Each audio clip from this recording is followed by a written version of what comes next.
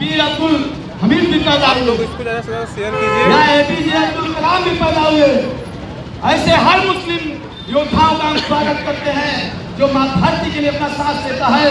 लेकिन जो भी लश्कर तैयबा तालिबान का रोल निभाना चाहता है हिंदुस्तान के अंदर तो हमारे देश के जवान तो है ही है।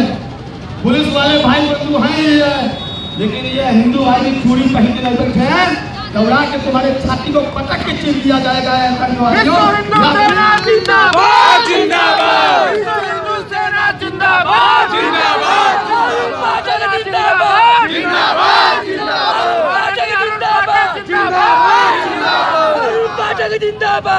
उन्नीस सौ पंचानवे की बात है। उन्नीस सौ पंचानवे में मुझे पता चला कि माधवराव धरहरा राष्ट्रीय स्मारक है। तो मुझे लगा कि राष्ट्रीय स्मारक है तो राष्ट्रीय स्मारक पर राष्ट्रीय ध्वज फहरना चाहिए। मैंने जाके वहाँ तिरंगा फहराया, मुझे जेल भेजा गया। तेईस दिन तक मैं जेल में रहा। उन्नीस सौ में मुझे पच्चीस दिनों के लिए जेल भेजा गया था। उसके बाद निरंतर हम लोग झंडा फहराने जाते हैं और हम लोग को तिरंगा झंडा फहराने के जुर्म में गिरफ़्तार किया जाता है।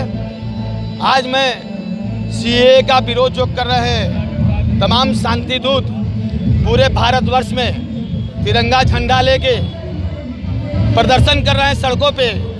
मैं उनसे पूछना चाहता हूँ कि आज 26 जनवरी को जब तिरंगा के सम्मान की बात है, और महीनों पहले से ये कार्यक्रम घोषित था, मैंने आमंत्रित भी किया था तो एक भी शांति दूत यहाँ उपस्थित नहीं है तो ये तिरंगा लेकर के देश में जो दंगा करवाने का षडयंत्र चल रहा है, इसका मैं निंदा करता हूँ, और मैं उन तमाम शांति दूतों को अपनी तरफ़ से चैलेंज देता हूँ कि अगर वो कहते हैं कि नहीं, मैं हिंदुस्तानी हूँ, भारतवर्ष का नागरिक हूँ तो फिर उनको इस तिरंगा यात्रा में अगर वो सम्मिलित हुए होते, तिरंगा लेके तो मुझे लगता कि नहीं, वो भारतवर्ष के नागरिक हैं। ये दीपिका पादुकोण, जो दिल्ली में जाके ड्रामा की, या तमाम जो कलाकार आए, फरहान अख्तर सहित समस्त लोगों से मैं पूछना चाहता हूँ कि इस देश में तिरंगा फहराने के जुर्म में जब गिरफ्तारी होती है, तब आप अंधे गूँगे बन जाते हो,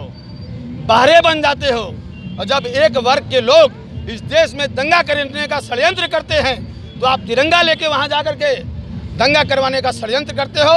ये घोर निंदनीय है। दीपिका पादुकोण जी, आपका आया आया हुआ फ़िल्म आपको जवाब दे दिया होगा कि नहीं, जब हिंदू कुपित होंगे तो 500 करोड़ का जो व्यापार है, वो आपका पाँच करोड़ पे आ जाएगा।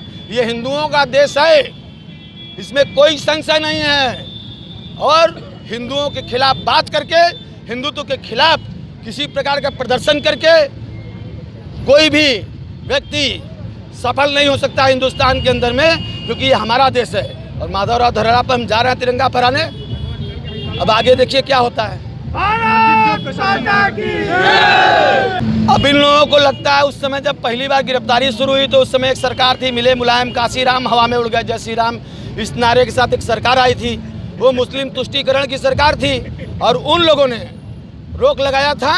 हमको लगता है आदरणीय मोदी जी योगी जी को अभी तक पता नहीं है कि इस देश में और खासकर मोदी जी के संसदीय क्षेत्र में तिरंगा फहराने के जुर्म में गिरफ्तारी होती है।